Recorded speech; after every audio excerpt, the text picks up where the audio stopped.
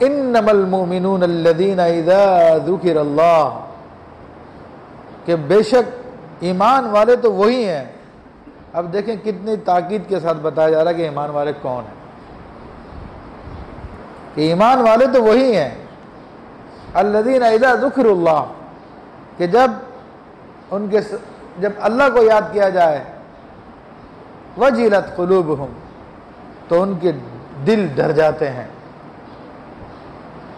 جب اللہ کو یاد کیا جائے تو ان کے دل ڈر جاتے ہیں، یہ اللہ والوں کی نشانی ہو رہی ہے، یہ مومنوں کی نشانیاں بیان کی جا رہی ہے۔ کہ ہمارا معاملہ ایسا ہے؟ ہمیں غور کرنا چاہیے۔ ہم میں یہ علامتیں پائی جاتی ہیں، ہمیں غور کرنا چاہیے۔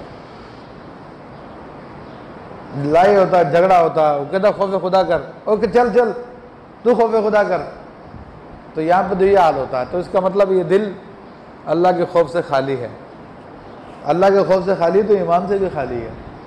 یہ بھی گارنٹی مل گئی ہے۔ ہمیں بتا رہا جناب قرآن کے آیتیں سنا رہا۔ بڑا مولوی آیا۔ ہم سے زیادہ جانتا ہے کیا؟ اس قسم کی باتیں ہوتی ہے تو فرما کہ مومن تو وہ ہیں کہ جب اللہ یاد کیا جائے تو ان کے دل ڈر جائیں۔ وَإِذَا تُلِيَتْ عَلَيْهِمْ آيَاتُهُ زَادَتْهُمْ ایمانا اور جب ان پر اللہ کی آیتیں پڑھی جائیں تو ان کا ایمان ترقی کر جاتا ہے۔ یعنی آیتوں کو سن کے ان کو خوشی ہوتی ہے، ان کا ایمان ترقی کر جاتا ہے۔ ایمان میں مضبوطی پیدا ہو جاتی ہے۔ اور ہم لوگوں کا معاملہ کیا ہے؟ لوگوں کا معاملہ یہ ہے کہ گناہوں میں اتنے ملوث ہو چکے ہیں، حرام کھانے میں اتنے ملوث ہو جائیں ہو گئے ہیں۔ یہاں تک جملہ سنا ارے بھائی، مولویوں کی باتوں میں مت آ جانا، زندگی اجیرن ہو جائے گی۔ ارے کیا مولوی اپنے دیے اپنے گھر سے لے کے آئے باتیں؟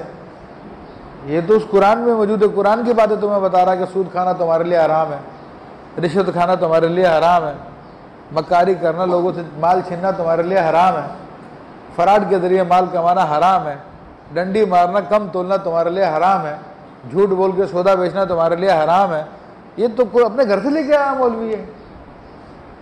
یہ تو اللہ تعالیٰ کی دین کی بات تمہیں بتا رہا ہے وہ کہتا نہیں، ان کی باتوں مت آ جانا زندگی بہت پریشان ہو جائے گی۔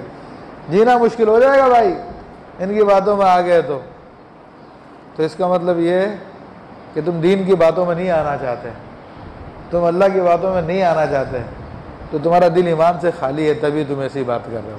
اگر دل میں ایمان ہوتا تو ہرگز بھی ایسی بات نہیں کرتے۔ تو اللہ تو فرمایا، مومن تو ہے ہی وہی۔ کیا؟ انداز دے کے مومن تو ہے وہی۔ کہ جب اللہ کا ذکر کیا جائے تو ان کے دل ڈر جائیں۔ اور جب ان پہ اللہ کی آیتیں پڑھی جائیں تو ان کا ایمان بڑھ جائے۔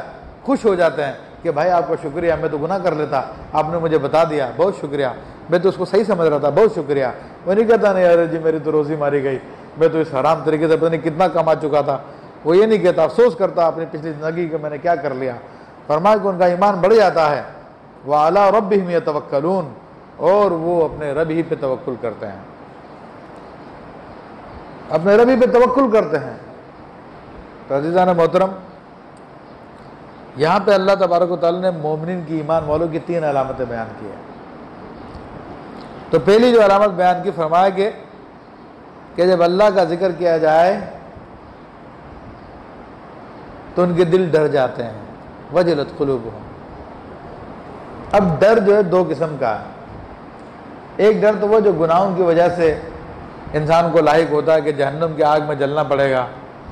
گناہ ہم نے کر دیے ہیں۔ تو ایک ڈر تو یہ یہ عوام لوگوں کا، مگر عوام میں بھی جو متقی پرہزگار کراتے ہیں ان کا۔ باقی دیگر عوام کو تو کوئی پرواہ ہی نہیں ہے۔ وہ توجہ نہیں کرتے اور زیادہ توجہ بٹھا کے کرائیں کہ بھائی گناہوں کو چھوڑو۔ ارے جی اللہ بڑا رحیم ہے، بڑا کریم ہے۔ تو حدیث شریف آیا کہ بزرگان دن فرماتے ہیں شخص بیوقوف بیوقوف ہے، کہ اللہ کی نافرمانی کرتا رہتا ہے اور کہتا ہے کہ اللہ بڑا رحیم ہے، بڑا کریم ہے۔ یہ شخص بیوقوف ترین آدمی ہے۔ کہ نافرمانی کا نتیجہ تو عذاب ہے، اور پھر کہتا ہے کہ اللہ بڑا رحیم ہے، بڑا کریم ہے۔ کہ اللہ اس کے لیے اپنے قانون کو بدل دے گا۔ اس کا قانون تو یہی، اس نے بیان کر دیا ہے کہ گناہ گاروں کو سزا دے گا وہ، نیکوکاروں کو اجر دے گا۔ اور یہ کہتا کہ میں اللہ کا قانون بدلوا لوں گا۔ تو یہ تو عوام آدمی کا ڈر ہے۔ لیکن اللہ کے نیک بندے ہوتے ہیں۔ جو گناہوں سے معصوم ہیں، جو گناہوں سے محفوظ ہے جیسے صحابہ کرام، اولیاء کرام، اللہ کے فرشتے اور نبی معصوم ہیں۔ صحابہ اولیاء محفوظ ہیں۔ اللہ کے نبی اور فرشتے معصوم ہیں، مگر یہ بھی اللہ کا خوف رکھتے ہیں۔